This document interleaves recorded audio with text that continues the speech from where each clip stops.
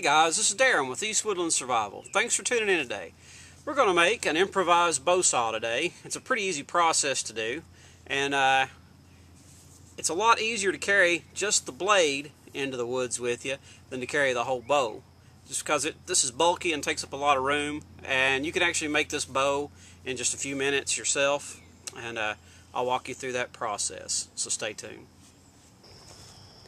Okay guys, I found a little river birch here that I want to use for my handle for my blade and uh, we're just going to be able to use this blade to cut this down and uh, use it and I'm wanting to go pretty thick. I've got rings that are going to go on the end of this and we're going to kind of loop the rings around the uh, the trunk to make our, our bow with. So let's cut that down really quick with uh, just using this and I also found that when you're using this if you'll pull it towards you instead of trying to push it too, uh, while it's just the blade, uh, is a lot easier to cut something down. So uh, I'll set the camera down here and cut this down and get right back to you.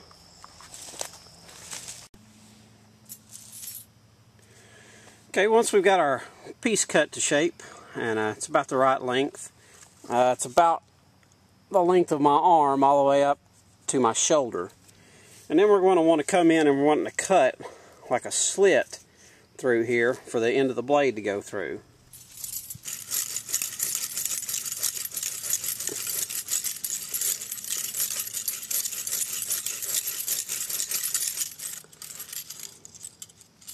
that should be enough. So, when we put this together,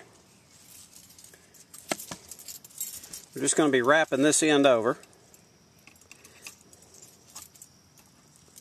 Like so. And I've left a little uh, dimple back here where uh, one of the limbs were at. Kind of hold this in place. And I'm going to pull this back to here. And we're just going to string this back.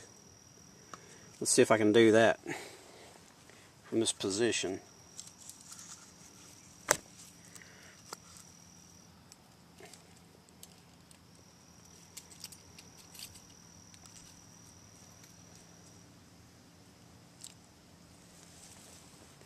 And there we go. Now we're going to take this ring and we're going to lash it up on. It's basically a stop more than uh, this end, which is actually to hold it. We're just going to have to finish this off by uh, kind of lashing everything together really good and tight to where it doesn't, the blade won't slip on us. So we're just going to use some paracord and wrap this up. You could use natural cordage if you want. Matter of fact, I have some natural cordage and we can do one end that way. Matter of fact, let's just do the whole thing that way.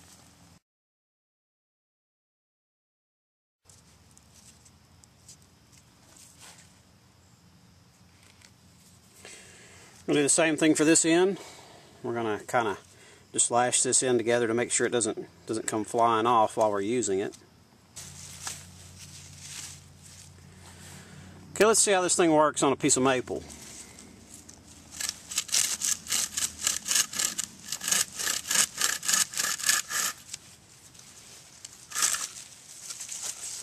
Pretty much sawed that in two. Let's try a bigger piece of wood.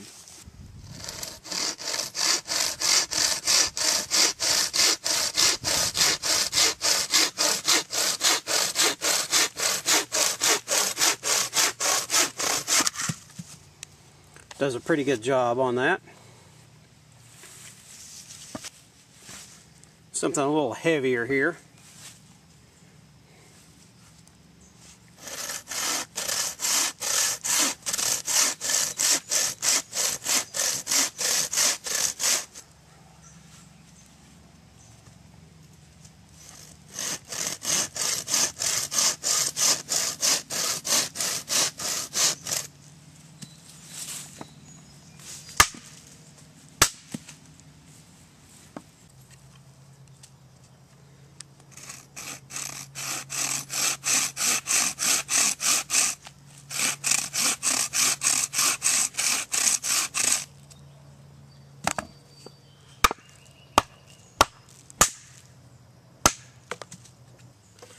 Guys, this is Darren with East Woodland Survival. This is a great little uh, accessory to add to your kit. You don't have to carry the whole saw with you.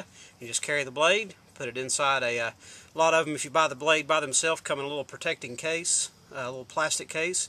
Just leave them in the case, add a couple of rings, and you'll have a bow saw in the field with you. So guys, this is Darren with East Woodland Survival. Thanks for tuning in. Uh, please comment and subscribe, and I thank you, and I hope to see you in the woods.